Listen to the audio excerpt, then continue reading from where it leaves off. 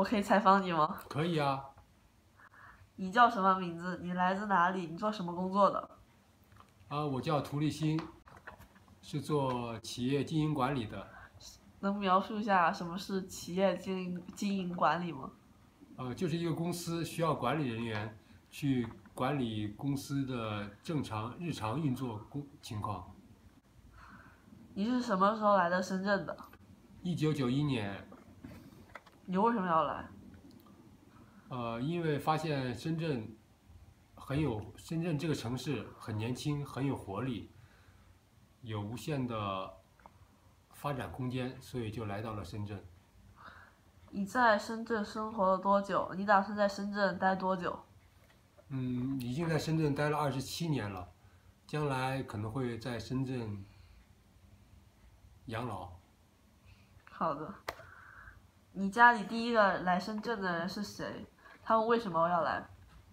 哦，第一个来深圳是我父亲，他来深圳是来深圳工作。他以前是做什么工作的？财务工作。你有把家人带来深圳吗？如果没有，为什么你要把他们留在老家？哦，没有，我家里人来过深圳，来过玩过。好，你的学历是什么？你认为生活品质会影响因为学历而有所提高吗？为什么？呃，我是大学学历，但是我觉得学历的高低并不影响你生活品品质的啊，不影响你的生活品质。只有努力工作、努力学习，才会影响你的生活品质。你刚来深圳的时候找工作困难吗？呃，刚来深圳的时候。没有，呃，没有去出去找过工作，就是在我父亲那个工作的地方上班。为什么你的兄弟姐妹不会不来，而而你来了呢？他们有自己的工作啊。他们为什么不换一份工作呀？换工作，他们都是在国营单位，换工作这么好换吗？并且他们都有固定工作。请描述一下你的家乡，它与深圳有什么不同，有什么相同之处？嗯，我的家乡武汉，它跟深圳一样，都是中国的一个大城市。武汉比深圳更大，武汉就是还是有点像内地很多城市一样，缺乏创新，缺乏活力。当然，自然风光来说，武汉是比深圳要漂亮些，但是天气没有武汉。呃，空气质量没有深圳的好。那请描述一下你的家乡。武汉是在长江边，有武汉三镇。那请描述一下武汉三镇是什么样子的？武汉三镇有汉口、汉阳、武昌三个部分。汉口呢是商业区，汉阳是工业区，武昌市教育区。你来到深圳需要学习新的语言吗？如果需要，难不难学？呃，来到深圳，首先，刚来深圳的时候，这些呃深圳人大部分讲广东人比较多，讲白讲广东话比较多。那个时候呃学广东话不太容易。现在来说，我们能够听懂，但是不会说。你在深圳生活面临了什么样的挑挑战？挑战，嗯，在生活挑战就是要努力工作了，嗯，要保持家里生活质量要保持着生活质量要，哎，保持到哎怎么说呢？应该是希望生活质量能够继续持续提高喽，能够给小孩提供好的一个教育环境喽，希望小孩能够在好的环境下学习进步了。中国的。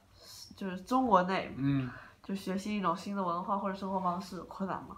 呃，应该不是很困难吧，语言都是相通的，环境都是差不多的，这个应该没问题。你家里有什么特殊的节日庆祝或传统吗？来到深圳以后有没有保持这些传统？没有，没有传统的节日。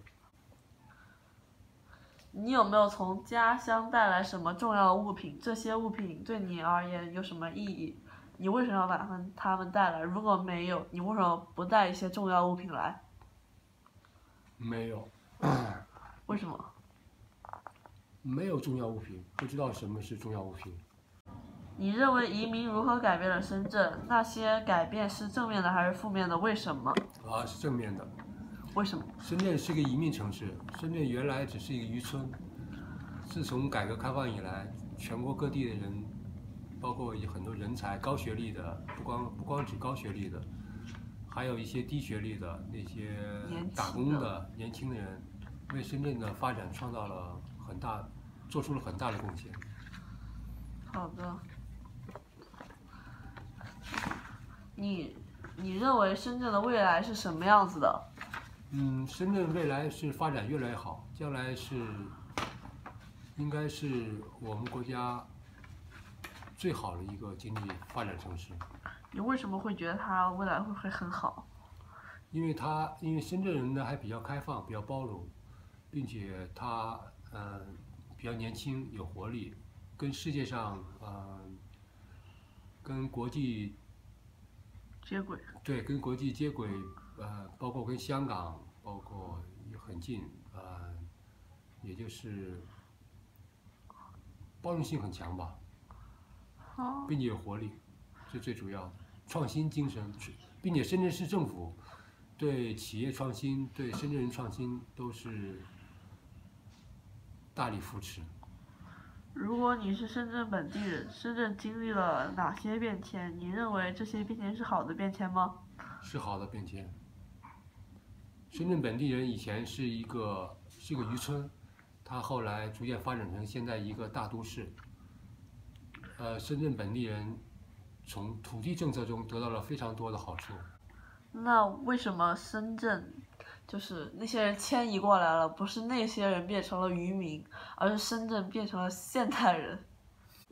因为没有鱼打了，还变什么渔民？为什么没有鱼打了？可是现在深圳还有很多海鲜呀之类的那种东西。那海鲜都是外地运了过来的，深圳海鲜不多。哦。OK，谢谢你的采访。嗯，谢谢。The interview teach me Shenzhen is changed a lot and and Shenzhen is a young city. and Shenzhen is a big city. Long, long ago, Shenzhen is a fishing village, but now Shenzhen is not. The migrant people changed Shenzhen a lot. Shenzhen has their own language, and if you come to Shenzhen, you will learn the Cantonese. But Cantonese is very not very easy to learn. It's a little bit hard. My interviewee didn't learn, cannot speak Cantonese, but he can understand Cantonese. One of the positive things is he always learn the new language and he always learn some new culture. This is positive because he always learn something new. The difference is is my father find the job very easy and in the book I'm fine to and after PTs they find the job very hard. And the similar things is the similar things is they they all from one country move to another country and yeah and or to a, a different they are from different countries and or different cities Mm, yes. My interview missing a viewpoint. That point is um, a lot of people in the in the world cannot find a job very easy, or they find a job or the job like its wage is very little, very low, or the job the people not usually to do, like street sweeper. That their job is very hard and always in the streets and the sweep. And in the night they all cannot sleep. And in the morning, and they will get up very, very early, just for a little wage um, a lot of people cannot adapt Shenzhen, but they must adapt Shenzhen because if you don't adapt Shenzhen, maybe you will lose a job. Yeah. Thank you.